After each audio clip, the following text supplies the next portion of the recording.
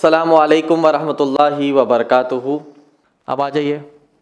Tabligh founder in 1927 by Muhammad Ilyas al Khandiwa Kandhlawi Khandlawi in India. अब तबलीगी जमात भी आप देखते हैं तबलीगी जमात जिसमें आप देखते हैं कि का वो लोग स्पिरिचुअल बहुत मेहनत करते हैं। स्पिरिचुअल यानी अल्लाह से जुड़ जाओ। रूहानियत रहबानियत। अल्लाह से जुड़ जाओ पर मेहनत है। मगर अल्लाह कौन है? अल्लाह क्या है पर? मेहनत नहीं है।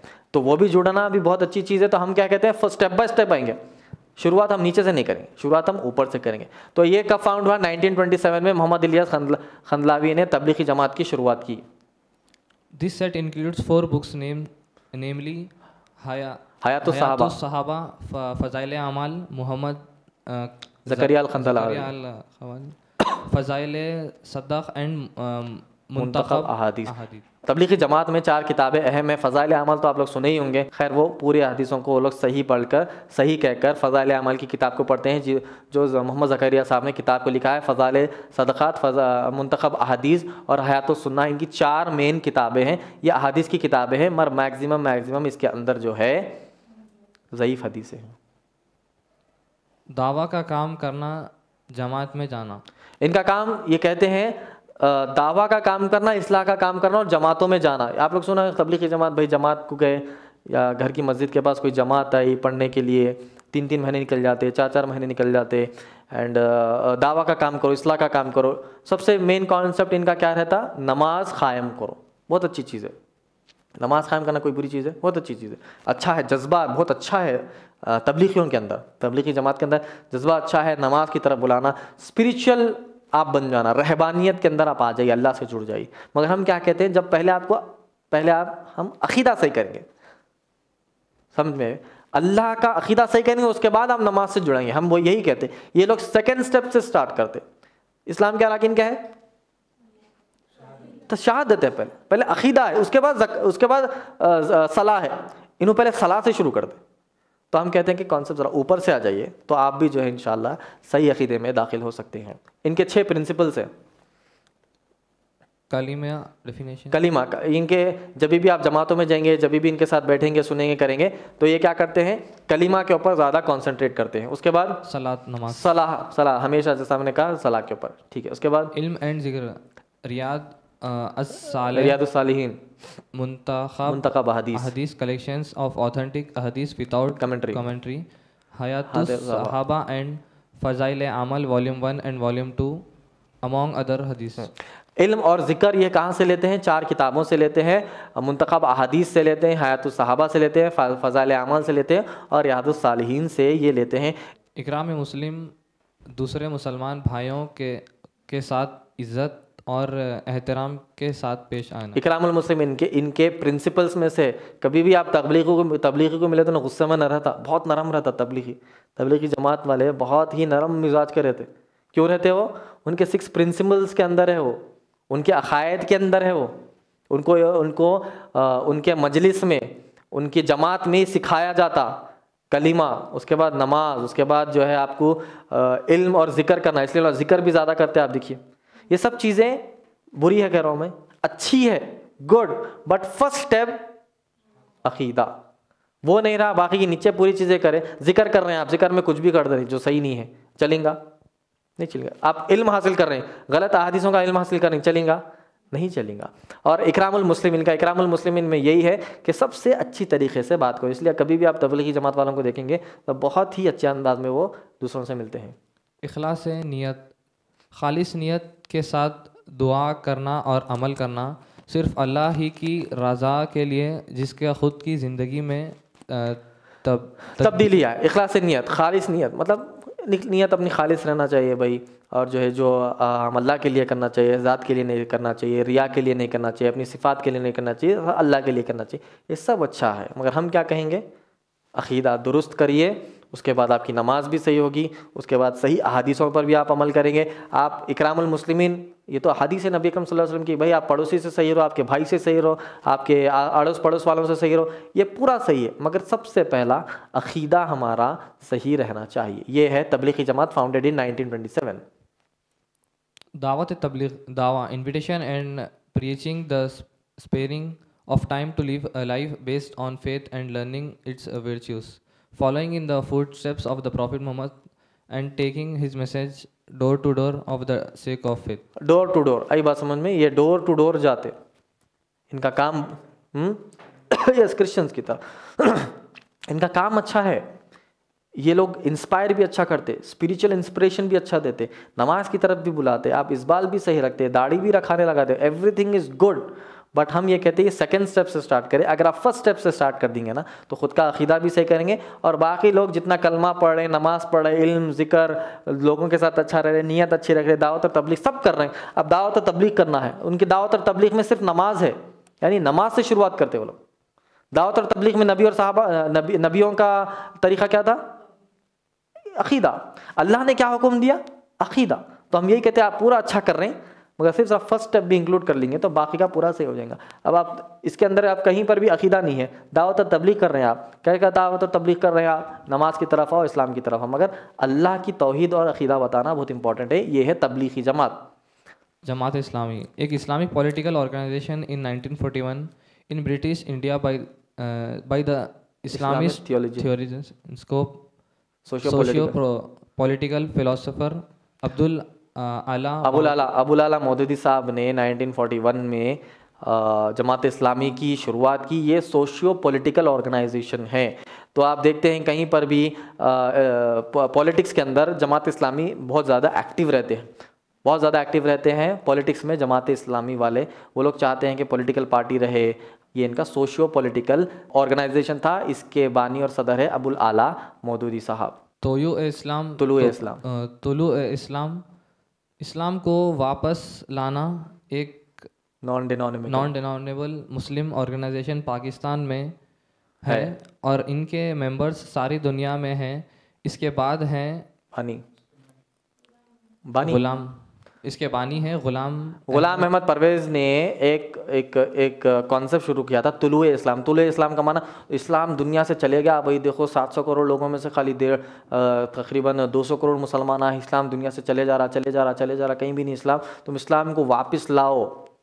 इस्लाम वापस इस्टेब्लिश होना चाहिए। तो पाकिस्तान में शुरू हुआ ये तुलु इस्लाम, जिसका नाम है ग़ुलाम अहमद परवेज़। तो इनके भी कॉन्सेप्ट में क्या आ जाता? कभी खवारिज घुस जाता, कभी इमामत घुस जाती, कभी कोई अकीदा ख़राब हो जाता, कभी कोई चीज़ पर उल्टे पुल्टे हो जाते। ये फिर अभी जमात इस्लामी का भी थोड़ा दिया मैं। खाली आपको बता रहा हूँ, ये हेडिंग कहाँ से, ये कहाँ से शुरुआत हुई? अब इन, इ- इनका क्या है जमात इस्लामी का मसला क्या है? इमामत का मसला है इनका। इन्हों बोलते कि खलीफा आ जाना फ़ौरन। इख्वानुल भी है क्या अभी नीचे इस, इसमें है। इख्वानुल भी बोलते हैं इमीडिएट खलीफा आ जाना। तो हम बोलते हैं खलीफा इमीडिएट नहीं आता। खलीफा आने के लिए सबसे पहले दावत का काम हमको करना है। पहले लोगों की जहनीत बनाना है। आज के दौर में खलीफा आ गया तो मानते हैं आप और मैं। अरे दार इधर कौन है की बोलते आई बात समझ इस्लामी खलीफा आने के लिए पहले लोग का जहन बनना वैसा। लोग खलीफा को मानने वाले काबिल क्या बनना? अब अपना खलीफा है तो बरेली का खलीफा अलग रहता जमात इस्लामी का खलीफा अलग रहता तबलीगी जमात का खलीफा अलग रहता। खलीफा का माना पूरी दुनिया के मुसलमानों का एक लीडर। वो बहुत बड़ी चीज़ है। तो उसके लिए हमको क्या करना है? पहले लोगों का जहन बनाना है। लोगों इस्लाम के अंदर आना है। लोगों को इस्लाम ही नहीं मालूम है। खलीफा को मानते। ठीक। तो ऐसा इमामत का मसला है इनका। तो तुलु इस्लाम भी बोल रहे हैं कि भाई इस्लाम वापस लाना बल्कि इनका एक कॉन्सेप्ट बना है और पूरी दुनिया में इनके जो है मेंबर्स बने हुए। उसके बाद आया। कुरानिज्म बानी अब्दुल अब्दुल्ला चक्रावा। चक्रालाविस अहले कुरान एंड रशद खलीफा खलीफा के कहा हदीस एंड सुन्ना inventions and satanic schemes Abdullah Chakralawis and Rashad Khalifa ने कुरानिज्म लाया। कुरानिज्म का माना क्या है? सिर्फ़ कुरान को मानना हदीस को नहीं मानना। ये कुरानिज्म किसको कहते हैं? ये अपने आप को अहले कुरान कहते हैं। हम इनको मुनकरीन हदीस कहेंगे। हदीस को इनकार करने वाले ये कई सारे हैदराबाद में कई है। और पूरी दुनिया में भी है, हदीसों का इनकार करने वाले। सिर्फ़ कुरान होना हमारे को। सिर्फ़ कुरान। ठीक है, नमाज़ का तरीका कहाँ है फिर? बोले कि नमाज़ ही नहीं है, बोले फिर बोले कि आँखों से दिल में नमाज़ पढ़ना, बोले। आई बात जक़ात देना है। जक़ात का तरीका कहाँ है? कुरान में अल्लाह ने कहा सुर मायदा की आयत नंबर तीन में, कि चार चीज़ें तुम्हारे लिए खाना है नहीं खाना है। ठीक है? तो फिर तुम बाकी की चीज़ों का क्या करना? मच्छी। अल्लाह ने कहा, मुर्दार गोश्त नहीं खाना तो मच्छी मार्केट में कैसा मिलती? मुर्दार मिलती, ठीक है? अल्लाह ने गधे के बारे में कुरान में नहीं कहा तो इनके लिए गधा जायज़ हो जाएगा, क्योंकि गधा हराम हदीस में है।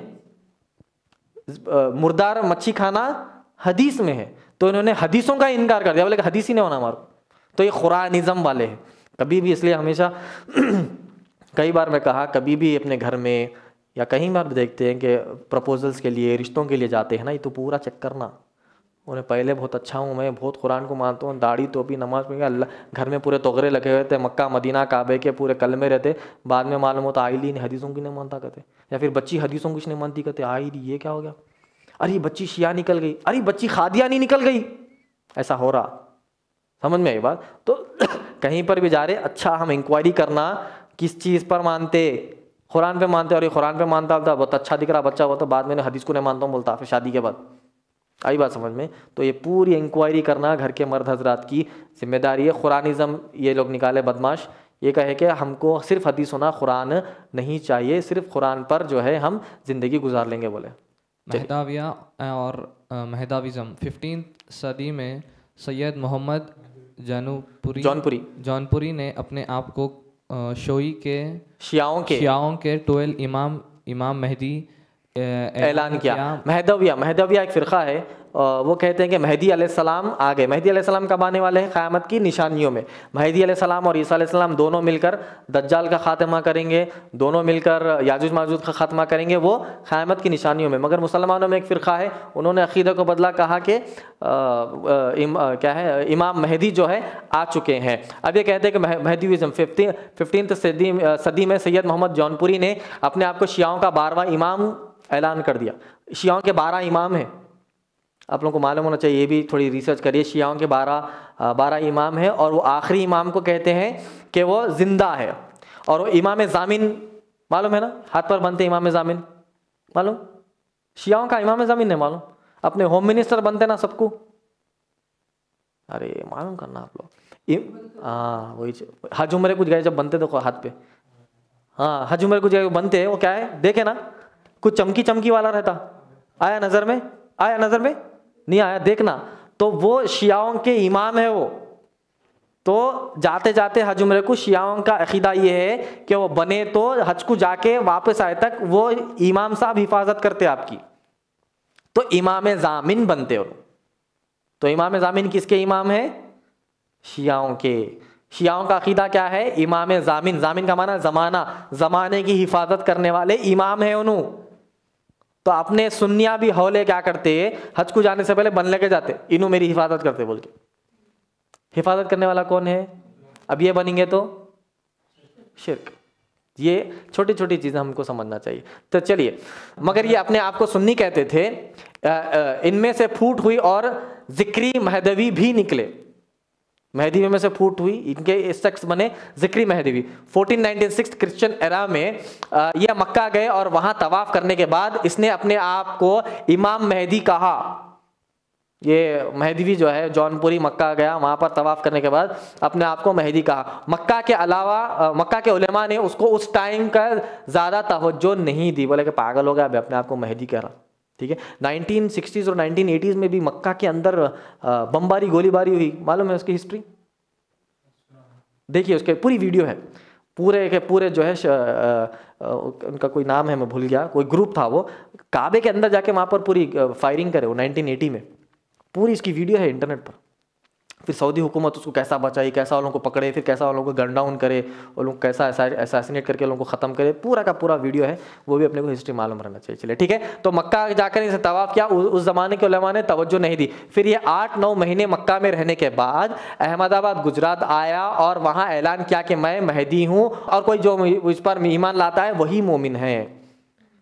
जौनपुरी ने कहा ये किस्सा करे उन्होंने क्या करे? अपने आप को पहले मक्का गए, मक्का में तवाफ़ करके, और हदीस में है कि तवाफ़ करने के बाद लोग पहचाने कि अरे आप इमाम मेहदी है। और इमाम मेहदी के वालिद वाल्दा का नाम वही रहेगा जो नबी के नाम, वालिद वाला का है। अब्दुल्ला और आमिना रहेगा इमाम मेहदी के वालिद का नाम। तो तवाफ़ करने के बाद पहचानेंगे कि, अरे आप इमाम मेहदी, आप इमाम मेहदी तो इसने क्या किया? वही कॉपी किया। तवाफ़ किया वहाँ पर कहा कि मैं इमाम मेहदी हूँ जो हदीस में आया है। ठीक है? ने बोला अरे पागल होगा अभी कौन है की बोल के छोड़ तो क्या करा गुजरात आके उसने फितने को शुरू कहा कि, कि मैं इमाम महदी हूँ मैं आ गया हूँ। तो आज भी हैदराबाद में कई सारे महदवी पाए जाते हैं अपने आप को कहते हैं कि हम हमारे इमाम महदी आ चुके हैं। मगर असल कब आने वाले हैं वो क़यामत की निशानियों में है। ईसा सलाम के दौर में है वो भी। उन्होंने और ईसा सलाम दोनों मिलकर दज्जाल और याजूज माजूद को ख़त्म करेंगे। वो बहुत आगे की बात है मगर इसने कब कर दिया ऐलान वो? 1496 में ही कर दिया। आज से 600 साल पहले ही कर दिया। गॉट द पॉइंट तो ये अकीदा पूरा उलट, अलट पलट होगा इनका। चलिए, आखिरी कौन है अब? मुस्लिम ब्रदरहुड इखवान मुस्लिमीन है। इखवान मुस्लिमीन, मुस्लिम ब्रदरहुड इनका मेन यही है कि इस्लामिक कैलिफेट आ जाए पूरी दुनिया में। इखवान मुस्लिमीन, ये भी बहुत शिद्दत परस्त है। यू के यू एस एंड कैनेडा ये बहुत स्ट्रांग है लोग यहाँ पर। बहुत स्ट्रांग है और इस्लाम को बहुत स्ट्रिक्टली फॉलो करते हैं, इसमें कोई कोई वो नहीं है। मगर इनका कॉन्सेप्ट ये है कि पूरी दुनिया में कैलिफेट आ जाए, खलीफा आ जाए। तो हम कहेंगे, खलीफा आने के पहले फॉलोवर्स को करेक्ट करना है, उसके बाद लीडर लाना है। फॉलोवर्स ही नहीं है लीडर ला के ठहरा देंगे तो उन्हें किसको लीड करेगा, या फिर फॉलोवर्स किसको फॉलो करेंगे, ठीक है? तो इनका कॉन्सेप्ट ये है कि पूरी इस्लामिक खिलाफत पूरी दुनिया में आ जाना। ये है मिर्ज़ा गुलाम अहमद खादियारी में जैसा बताया, मैं अपने आप को इन्हें इसने जो है नबूवत का दावा कर दिया था 1989 में, अपने आप को ईसा सलाम भी कहा। इसने अपने आप को ईसा सलाम भी कहा। फिर कहा कि मैं नबी हूँ। फिर कहा कि मैं नबी हूँ। Ahmadiyya Muslim community Ghulam Ahmad was born in non bearing prophet Lahore में फिर ये गया। फिर वहाँ पर बहुत लंबा लंबा लंबा किस्सा हुआ। फाइनल ये है कि इसने अपने आप को नबूवत का दावा किया, झूठे नबी होने का दावा किया और पूरी दुनिया में खादियानियत के फितने को फैलाया। अकीदा क्या है इसमें? वन आमन बिल्ला योम आखिरी वलमलाइकती वन नबीन नबियों पर अकीदा कैसा लाना है?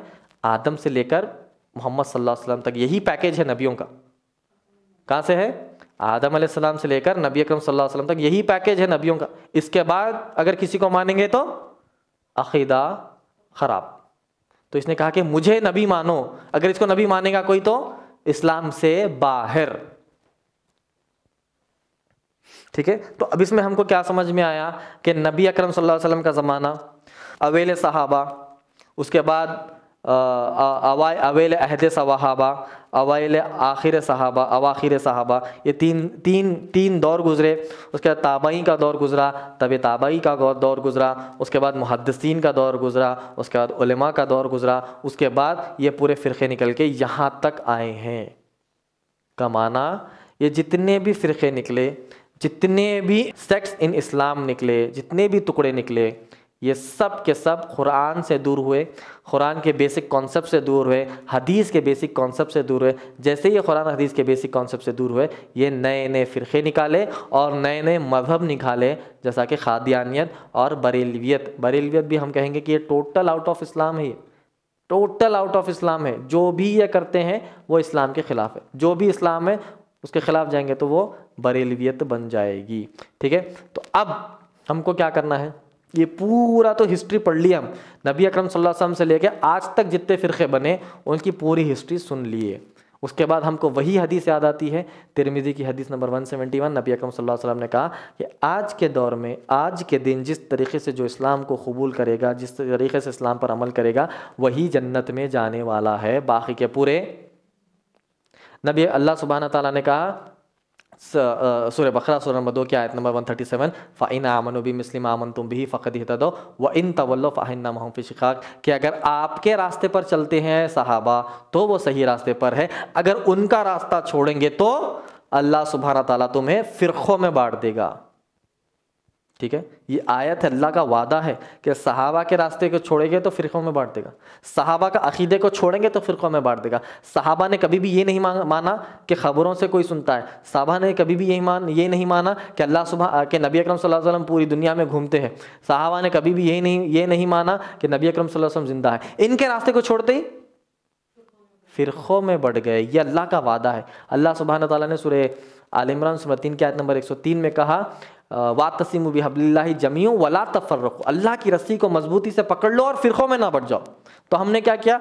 अल्लाह की रस्सी कुरान है अल्लाह की रस्सी को छोड़ते क्या हुआ? फ़िरक़ों में बढ़ गए। अल्लाह ने वार्निंग दी, ये करो, वरना फ़िरक़ों में बढ़ जाओगे। वो करते ही फ़िरक़ों में बढ़ गए।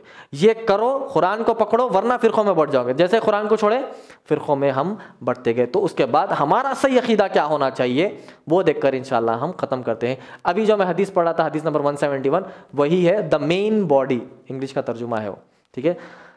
दस सहाबा इन जन्नत, दस सहाबा जो जन्नत में रहेंगे, सैयद जामे की हदीस है, सैयद जामे सग़ीर की हदीस है, वॉल्यूम नंबर वन, हदीस नंबर फिफ्टी, सेवेंटी और फिफ्टी में अबू बकर, नबी अकरम सल्लल्लाहु अलैहि वसल्लम ने फरमाया कि दस लोग जन्नत में जाने वाले हैं, उसको क्या कहते हैं?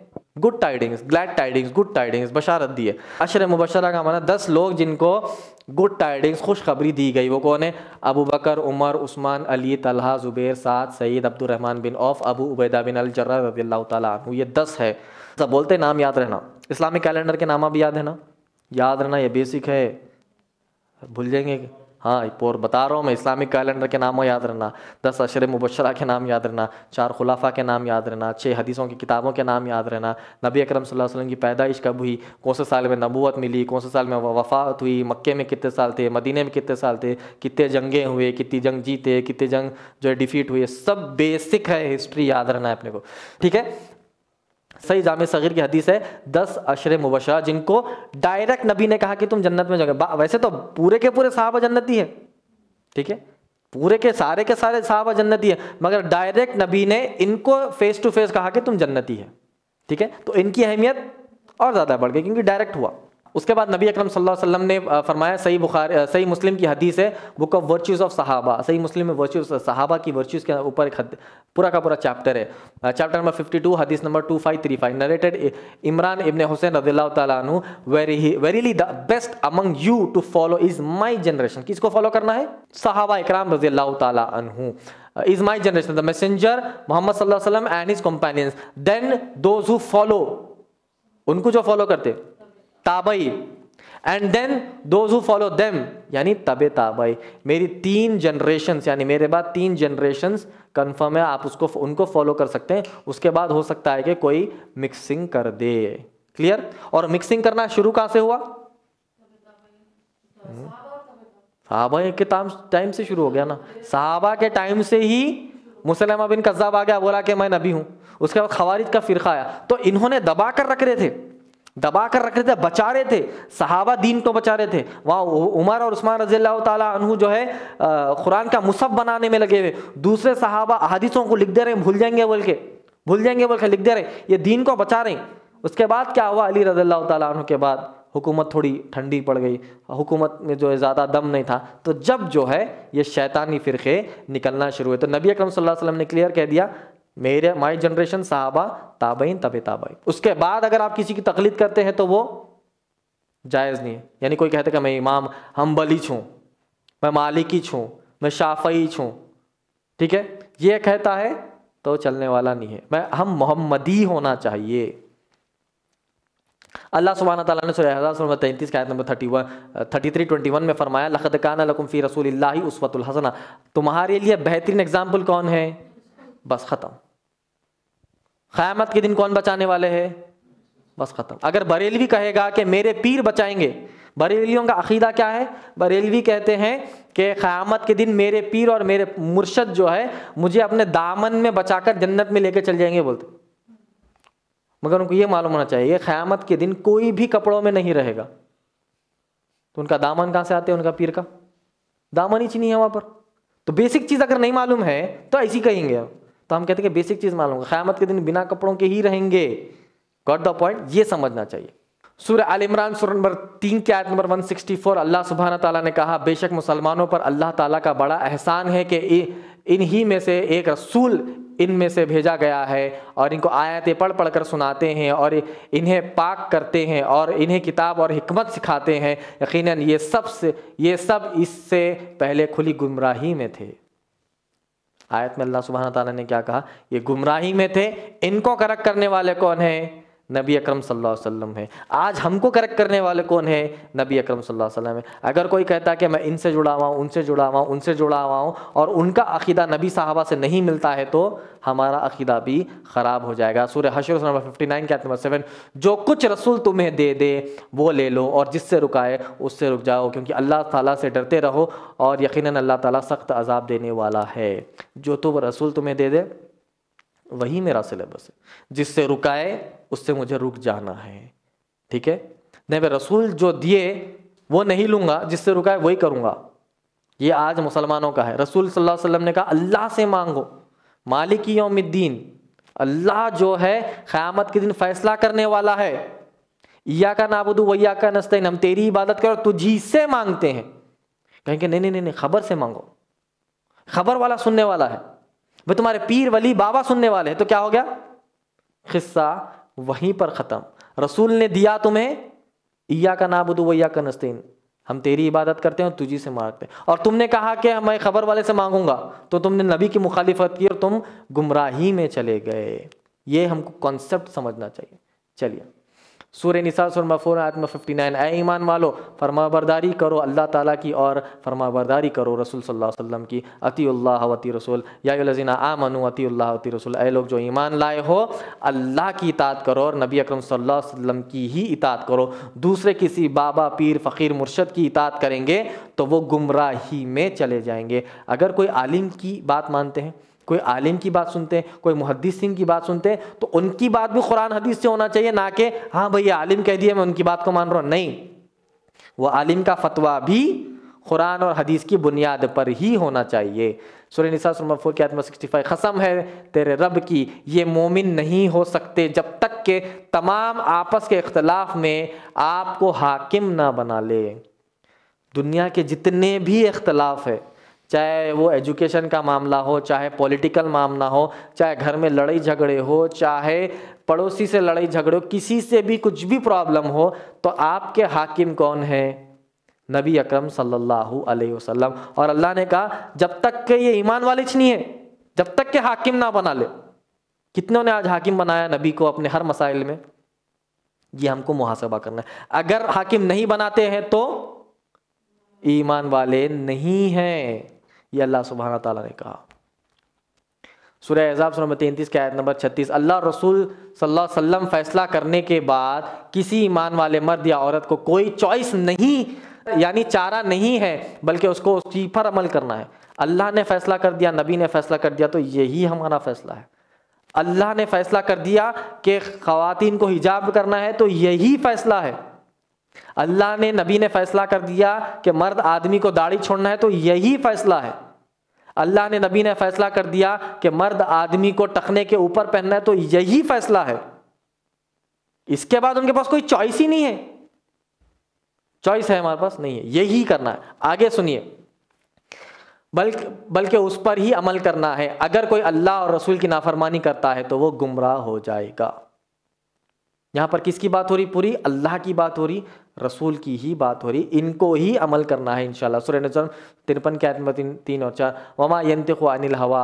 अल्लाह नबी अकरम वसल्लम जो कुछ भी हुक्म देते हैं वो अल्लाह के हुक्म से ही होता है। हदीस में भी अगर कोई हुक्म आता है तो वो भी अल्लाह का ही हुक्म है।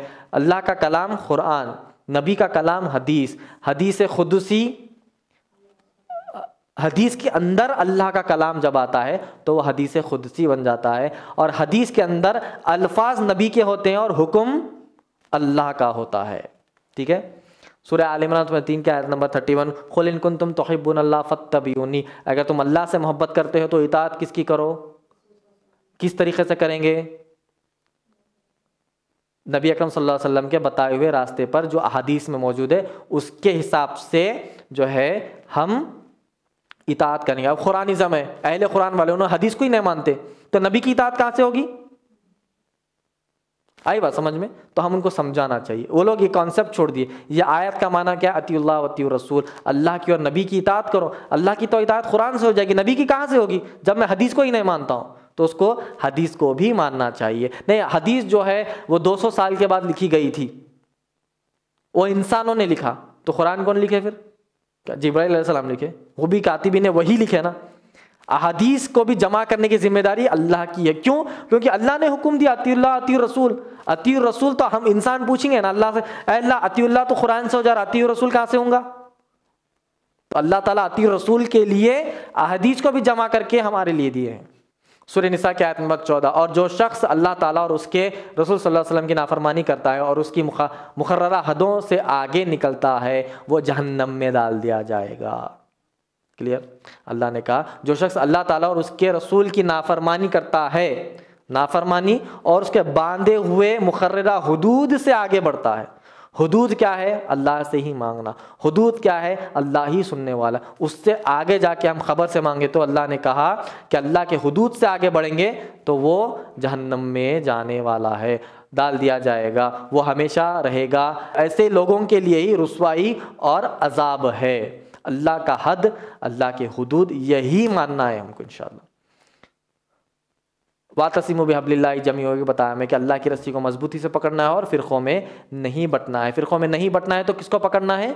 कुरान और सही अदीस सुरसा की आयत नंबर एक सौ पंद्रह। जो शख्स बावजूद राय हिदायत के वाजे हो जाने के बाद रसूल सल्लल्लाहु अलैहि वसल्लम की खिलाफ वर्दी करता है और तमाम मोमिन सहाबा की राह छोड़कर चले जाए, हम उसे उधर ही मुतवजो कर देंगे, जिधर वो खुद मुतवजो होकर रहता है और दो में डाल दिया जाएगा। इस आयत का मफहम यह है कि अल्लाह और रसूल सल्लल्लाहु अलैहि की मुखालिफत कर कर जो रास्ते पर चलता है ना जैसा इतने फ़िरक़े निकल गए बरेलवियत निकल गई, खादियानी निकल गई, खुरानिज़म निकल गया, फ़ला ये निकल गया, वो दुनिया की चीज़ें निकल गए। तो अल्लाह कहते हैं कि जो जो अल्लाह रसूल के रास्ते को छोड़कर जो रास्ते पे तेज़ भाग रहा ना, अल्लाह ताला उसका रास्ता और आसान कर देते।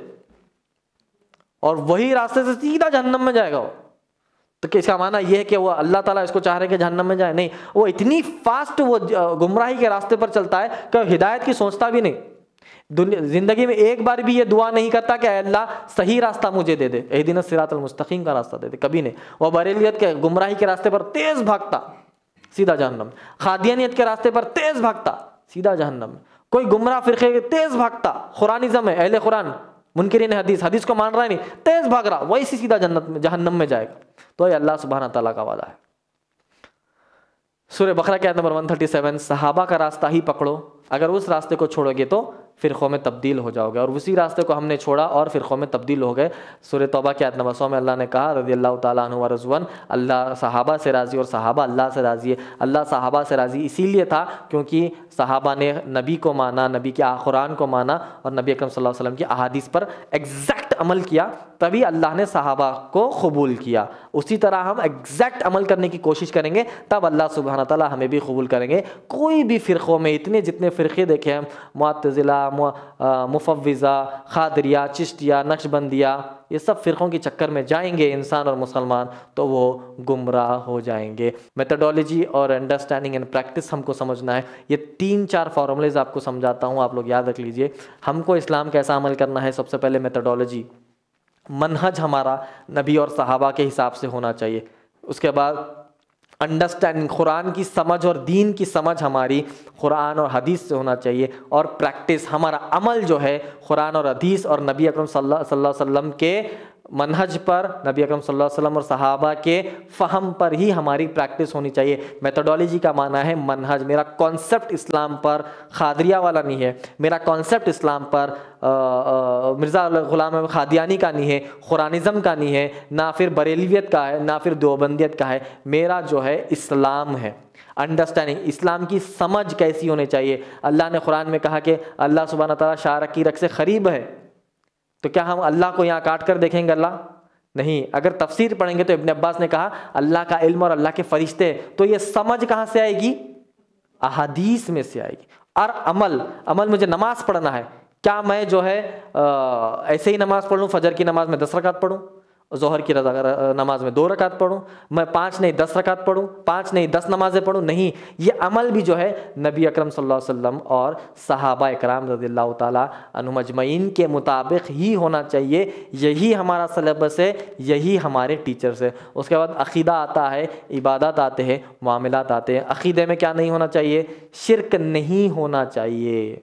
अकीदे में सबसे पहला किस पर? तोहीद पर ही हम बात करें। उसके बाद बाकी चीज़ों पर बात करें। हमारा सबसे पहले अकीदे में शिरक नहीं होना चाहिए। हमारा अकीदा खालिस, क्लियर, प्यूरिटी वाला, अल्लाह पर खालिस जैसा नबी और सहाबा ने ईमान लाया, वैसे ही हमारा अकीदा है। उसके बाद नीचे आया कि अगर फ़िरक़ों में बढ़ जाएँगे तो वो अकीदा हमारा नहीं होना चाहिए। इबादत इबादत में हमारे बिदत नहीं होना चाहिए। जो भी हम इबादत कर रहे हैं। अगर कोई कहता है अच्छा ये भी कर लिए तो क्या होता है? ये भी अच्छी चीज़ है।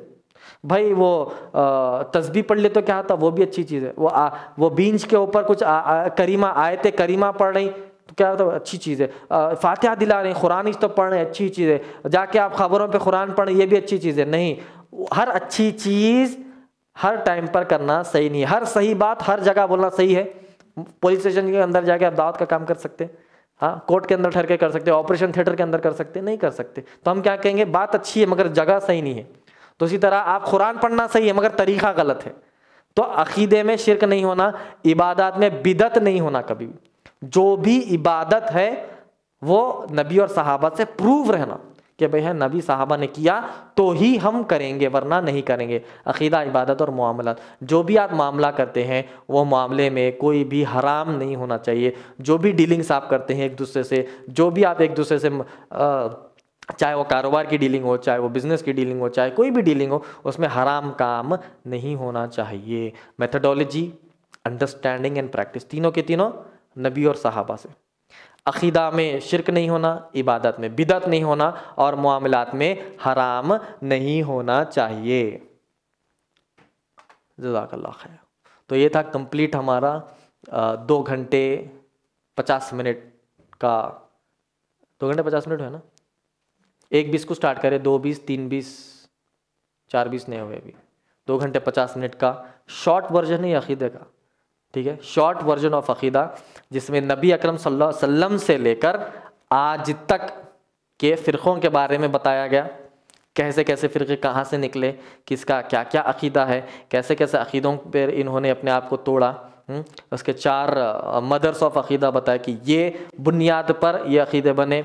इस चार बुनियाद पर अकीदे बने और चार वजह से अकीदे बने। इमामत में आप देखें कि भाई शियाओं का कैसा वो लोग बोले कि अली रदी तु को ही बना खलीफा। तो पूरी की पूरी राफिजियत और शीयत बनाए लोग। बोले कि अली रदी तु ही हमारे पहले। ठीक है? उसके बाद तकदीर को जब छोड़े, अल्लाह के नाम और सिफात को छोड़े तो मुफविज, मुफविज़ा बने मुतिला बने। ठीक है? खादरिया बने। चिश्तिया बने, ये पूरे कहाँ बने? तकदीर के कॉन्सेप्ट में बने। गॉट द पॉइंट ये पूरे मिक्सिंग है। तो ये सिर्फ़ आपके लिए इंफॉर्मेशन है। ये सब कंफ्यूजन में नहीं जाना है तो सीधा क्या करना? Main syllabus Quran main syllabus हदीस। बस इसी पर डायरेक्ट अमल करो। इसी के हिसाब से एग्ज़ाम लिखो और इसी के हिसाब से पास हो जाओ। गॉट द पॉइंट मेन हमारे कॉलेज का, हमारी यूनिवर्सिटी का मेन जो है सिलेबस हमारे पास रखा है। गलत क्या है? देख लेते बैठते। अरे अच्छा ये भी गलत है। ये ज़रूरत नहीं, गलत है, छोड़ दो। ये विजडम कहाँ से सीखे? साहबा ने पूछा, एक कौन है जन्नत में जाने वाला? वो वो बोल दो बस। जन्नत में जाने वाले की सिफत है इनको बताओ। एक की सिफत बता दो, वही चमल कर लेंगे। गॉट द पॉइंट ये नहीं करना है, नहीं करना है, छोड़ दो। 72 जो जन्नत में जाएँगे, उनके उनके गुनाह क्या रहेंगे, वो नहीं पूछे साहब। पूछे कि एक जो जन्नत में जाएगा, उसकी सिफत बता दो, वो अमल कर लेंगे। तो हम क्या करेंगे? ये तो नॉलेज तो रहनी चाहिए हमारे को कि भाई ये फ़िरक़े ऐसा बने, ये फ़िरक़े ऐसा बने, इनका ये अकीदा है, इनका ये अकीदा है, ताकि इस, इन अकीदे वाला जब भी अपने ख़रीब आए ना तो उनका वायरस डिटेक्ट कर लेना। अपने पास एंटी वायरस डाल के रहना। एंटी वायरस क्या है वो? कुरान और हदीस। वो फिक्स रहा अपने अंदर इंस्टॉल रहा तो जो भी ये बरेलियत का वायरस आया डिटेक्ट होता।